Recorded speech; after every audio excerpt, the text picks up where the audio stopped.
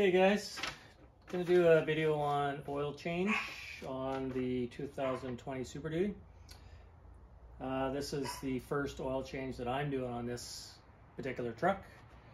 I used to have a six liter and uh, I would use Archoil products. Uh, a lot of information on the internet regarding Arch Oil, friction modifier for the oil, and the diesel treatment for the fuel and uh, cleaner.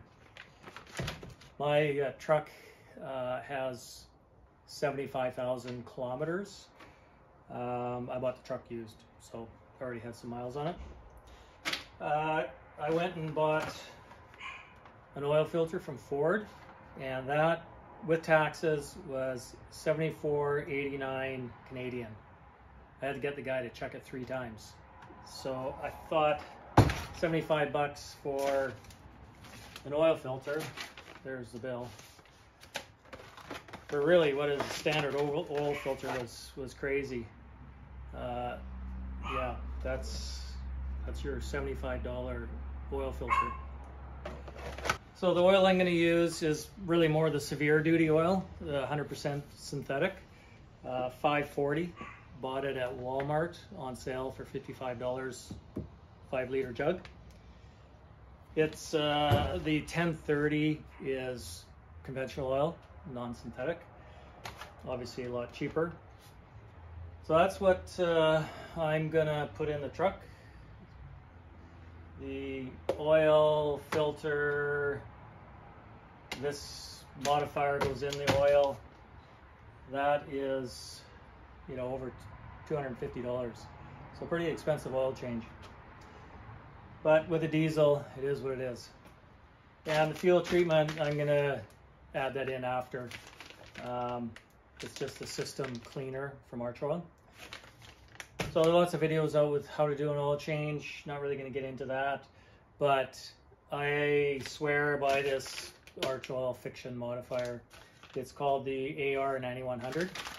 I really noticed the difference for my six liter 2006 uh, I don't think, I don't know what, if I'm going to notice such a difference on this truck adding this stuff. It was, it was really night and day because the 2006 six liter had 300,000 kilometers on it. And as soon as I started using this, well, it was actually around 240 when I started using it, but it was quieter, increased mileage, started easier.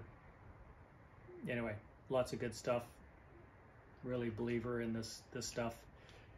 Um, so that's why I wanted to do this video.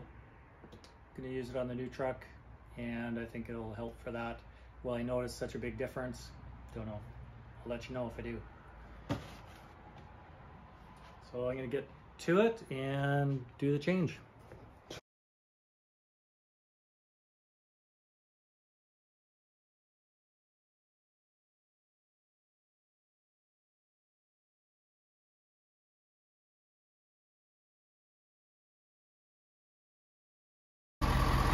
Okay guys, I just got the truck warming up. Hopefully you can hear me okay. Um, watched on the uh, few videos where they use a bucket to capture all the oil. Um, with a stock truck is what I have. It doesn't fit under the cross members. So what I did was cut the ring off here and uh, it fits. So it just makes it, so if you have a stock uh, truck, stock tires.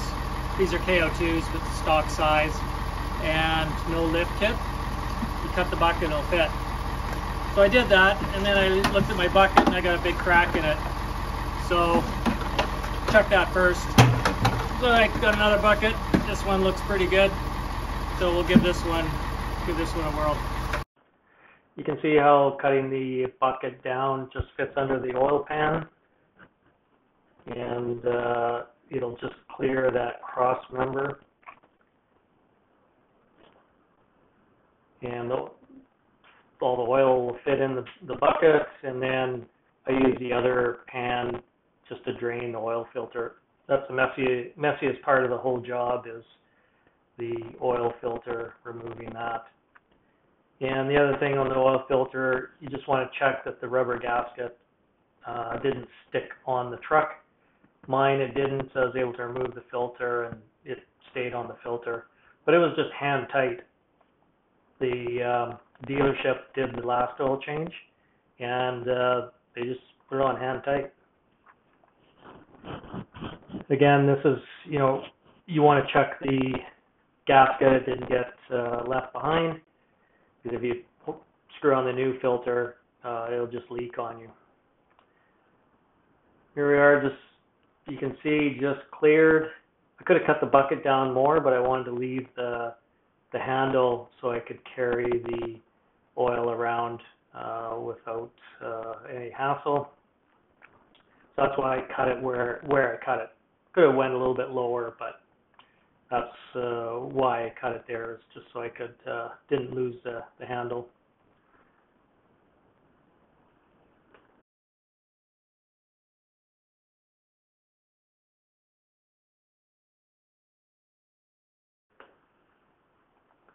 Here you can see on the cap, tells you what oil you can use.